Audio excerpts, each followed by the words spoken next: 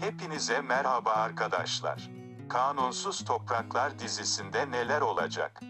Malik kaçırılarak öldüğü ortaya çıkacak.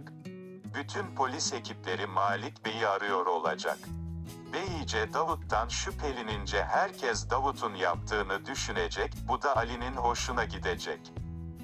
Davut'un, Gülfem'in zor zamanlarda ona yardım etmesi Gülfem'i çok etkileyecek. Ali Gülfem'i kazanmak için yeni, tertemiz bir sayfa açacak. Ali Gülfem için iyi davranıp Gülfem için her şeyi göze alacak. Dizimiz hakkında görüşlerinizi yorumlarda belirtiniz.